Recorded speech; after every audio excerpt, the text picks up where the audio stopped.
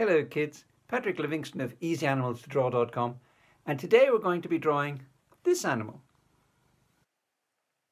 The bulldog. Start by drawing four marks for the circle for the hips. You'll notice that unusually, if you look at the drawing at the top right, unusually the circle for the head of the bulldog is actually bigger than the, cir the circle we're drawing for its hips. It's the ratio of these circles, the shoulders, the head and the hips, uh, that define the correct proportions for your dog, in this case a bulldog, and it's good to notice this before you begin.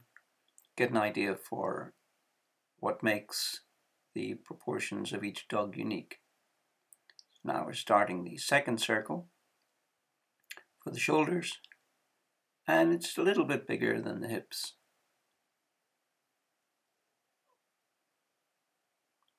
Notice also the, the difference, sorry not the difference, notice also the distance uh, between the um, these two circles.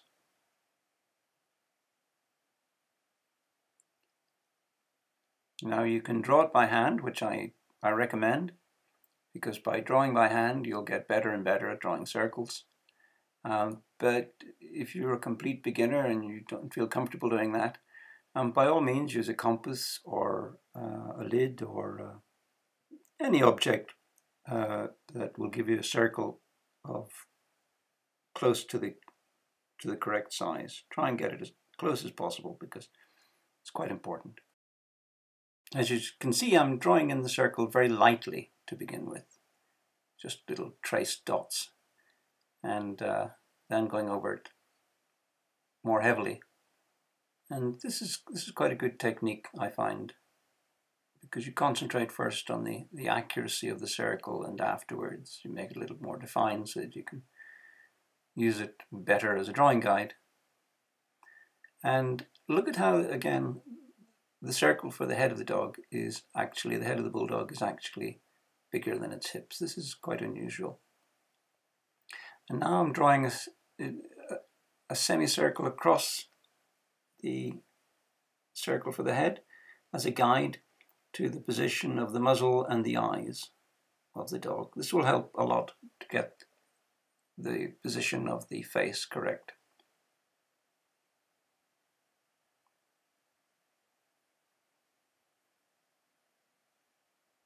Don't be afraid to rub it out and do it again if you think you've gotten it wrong. As I obviously did. And now a kind of trapezoid rectangular shape for the ear. And a second one for the second ear, the nearest ear.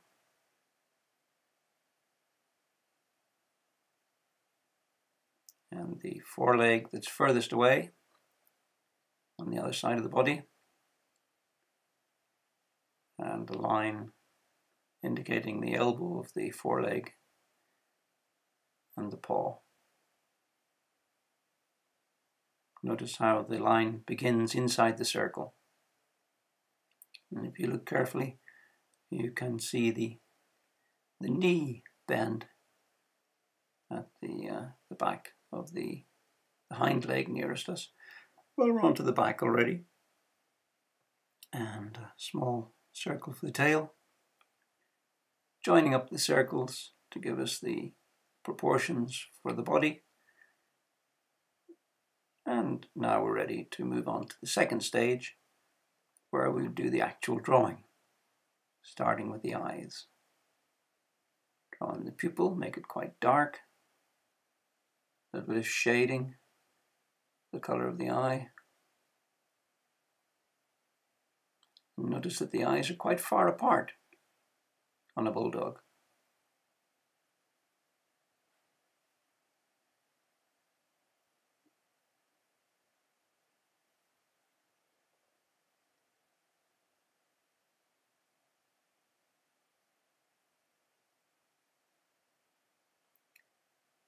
Can see I've left just a little bit of white to indicate a reflection in the eye, to give the impression that the eye is shiny.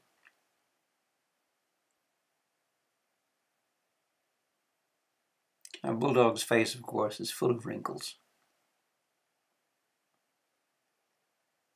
That's what gives it its typical bulldog character.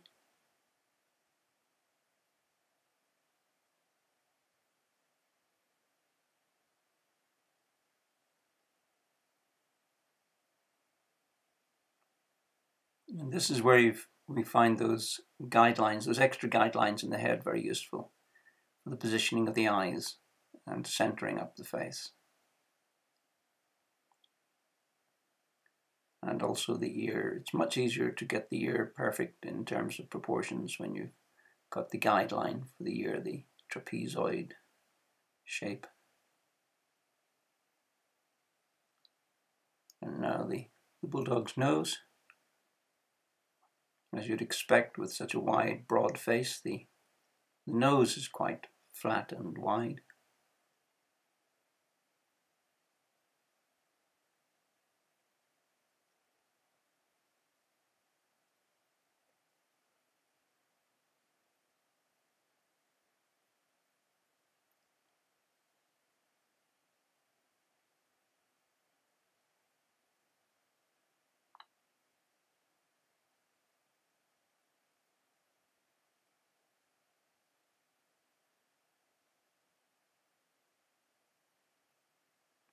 Drawing the top of the muzzle now.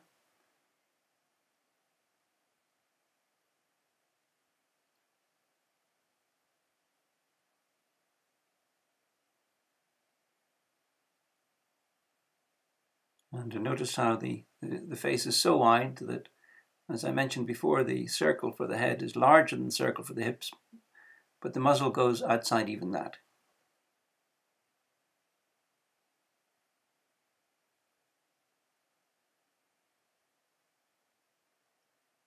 A little bit of indication where for the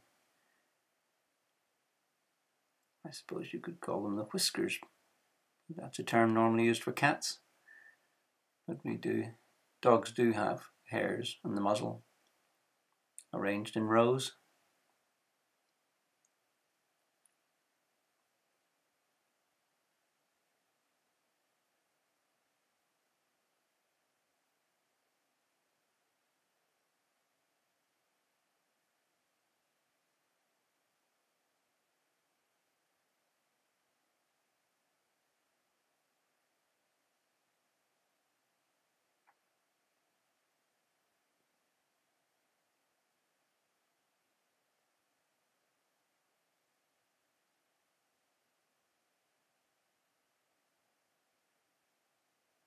Quite complicated, the head of a bulldog.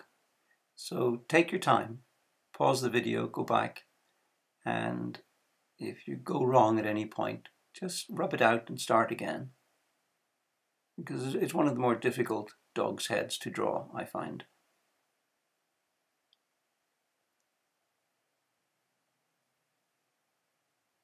All those wrinkles, quite complicated.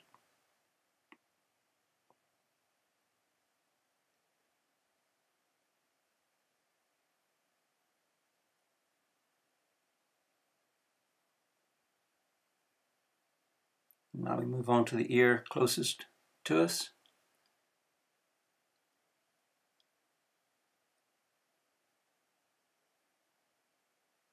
And it's getting quite bulldog-like, I think. I think you'll agree.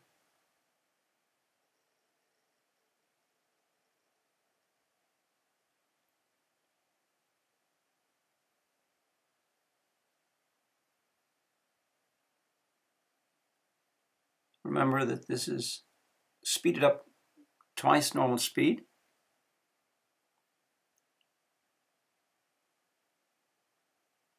Make the video that little bit more interesting to watch. Um, but if you're following along and drawing, you will need to pause your video.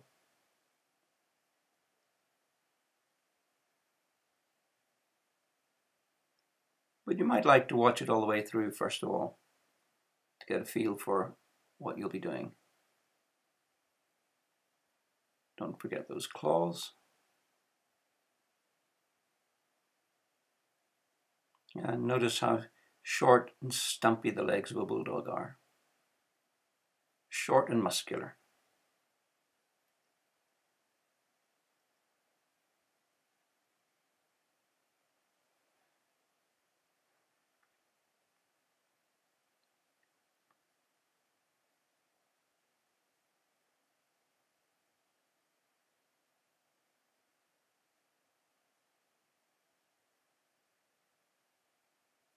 And notice how the, the leg nearest comes from within the chest. Never draw your, your legs as if they're stuck onto the body. The legs emanate from the inside of the body. The muscles that control the legs start up in the shoulders for the forelegs.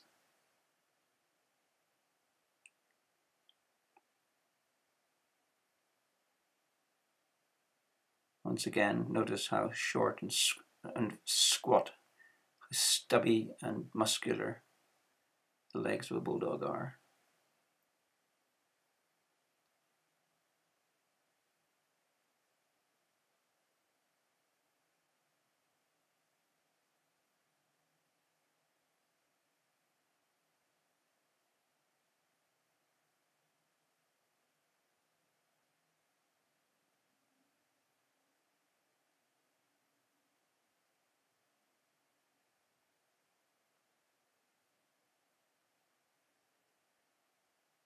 Drawing in the claws and the hind leg.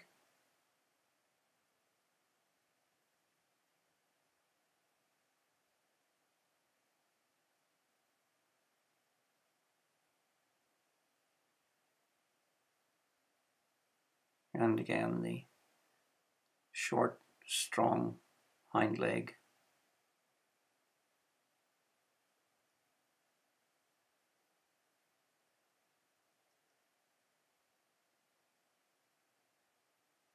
Those quite pronounced claws, quite noticeable because the, the bulldog is a very short-haired dog.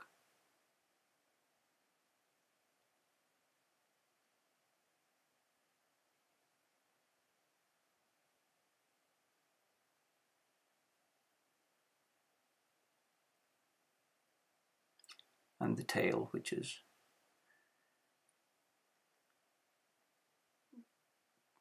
doesn't really look very much like a dog's tail at all, does it?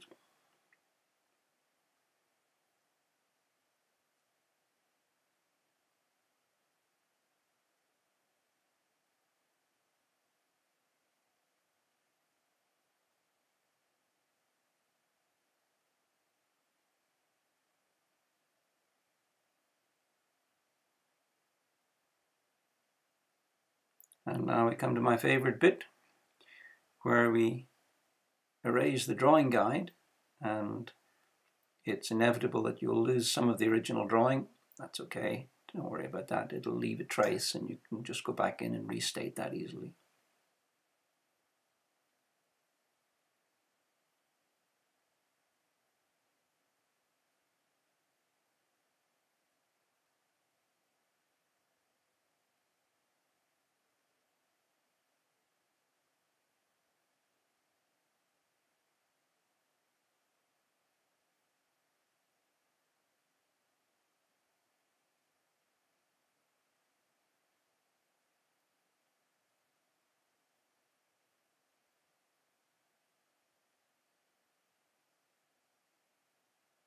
The kind of rubber I'm using is called a putty rubber.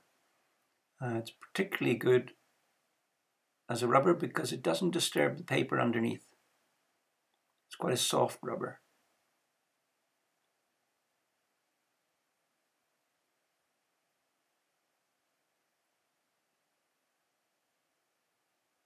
Now I'm going to go back in and restate those lines that were accidentally rubbed out. There's no way around this. It's always going to happen. Um, don't worry about it. Just go back in and restate those lines. Redraw them in.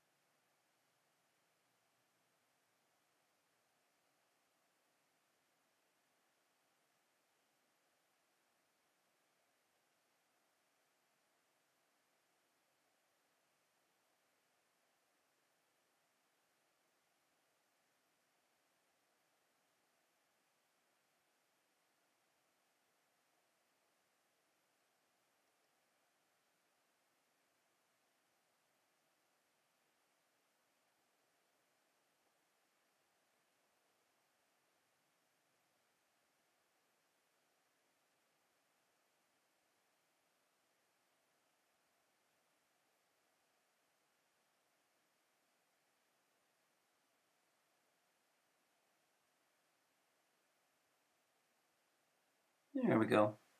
We're getting there.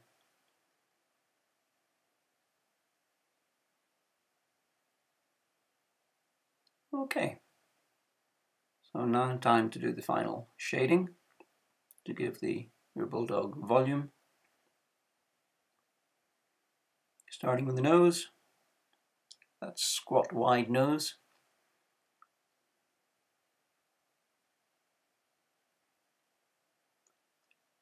And those of you with sharp eyes will notice that I've changed the arrangement around the mouth. And I've decided to put his tongue back in a little bit.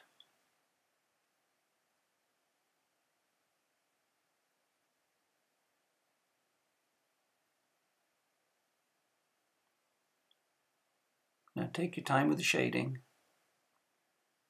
Remember again, this is twice, this is, this, this is speeded up twice as fast as I actually did it.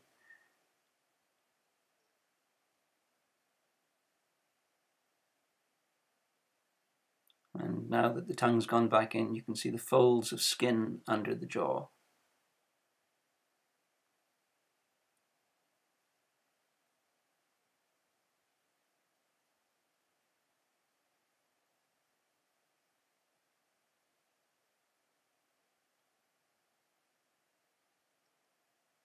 And notice the little spot of white, the little spot of white in the eye.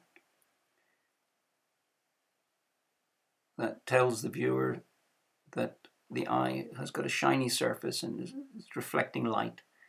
And this gives life to the eye.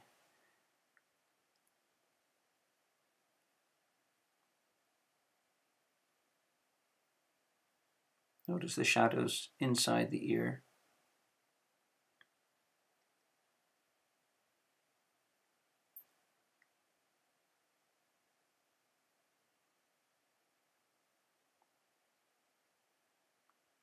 And what I'm doing now is shading the folds of skin.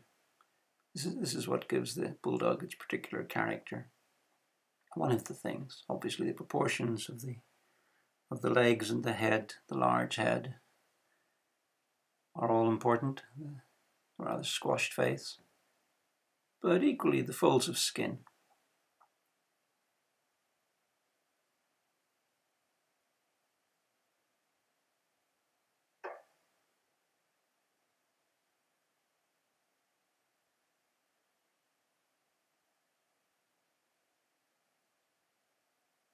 Indication of the shoulders, quite likely done.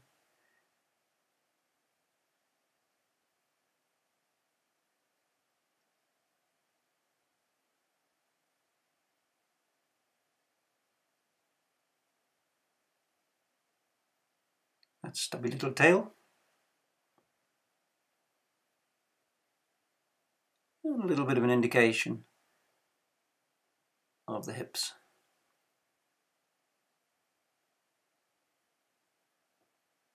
And some of the muscles in the hind leg.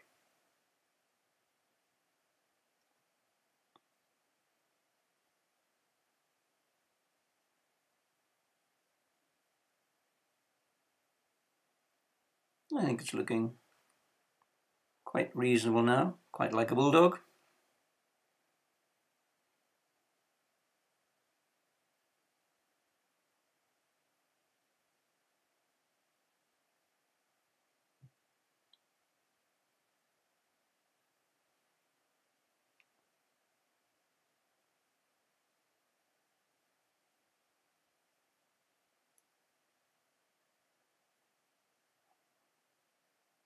Some final little details around the face.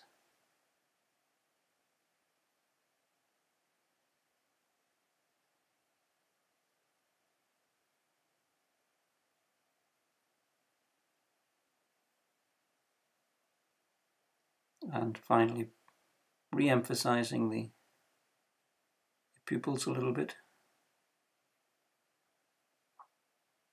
Well, if you enjoyed this, don't forget to like and subscribe and smash that bell to get more notifications when there's a new video coming out.